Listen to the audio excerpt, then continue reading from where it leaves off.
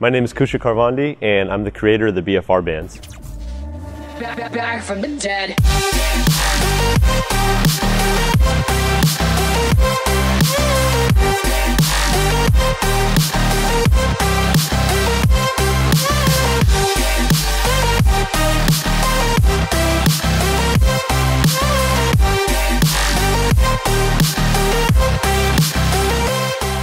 I was a personal trainer for about 10 years and I had about a dozen different certifications, but I felt like they were all saying the same thing. I felt like something was missing. And it wasn't until I started studying neuroscience that I found exactly what that was, which is a style of training where essentially you wear straps around the upper limbs to slow blood flow uh, away from the limbs. It doesn't affect blood flow into the limbs, it just slows venous blood flow out of the limbs. So what this does, it tricks the brain into thinking that you're lifting with heavy weight when you're not.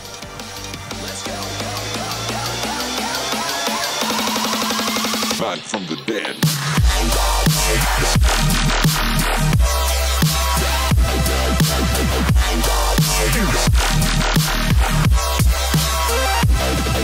Like I was, you're probably really skeptical at this point. You're probably thinking, why would I want to restrict blood flow? That can't be good for me.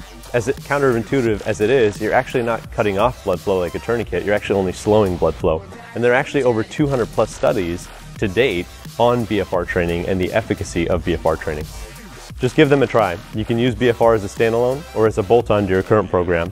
Either way, you won't be disappointed by the results.